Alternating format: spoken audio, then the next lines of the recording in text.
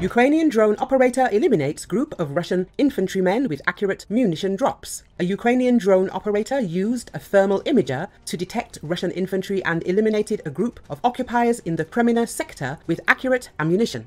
A video of the liquidation of the infantrymen was posted on social media. Drones have created a newly transparent battlefield. Ubiquitous drones and other technologies make it possible to track in real time any troop movements by either side, making it all but impossible to hide massing forces and concentrations of armored vehicles from the enemy. That same surveillance then makes sure that forces, once detected, are immediately hit by barrages of artillery rounds, missiles, and suicide drones. Sustaining any attempt at a breakthrough has become a most difficult proposition. In other words, if the enemy can see everything on and behind the front lines, including units and even individual troops moving in the rear, the classic ground attack, made up of massed armored formations, is dead.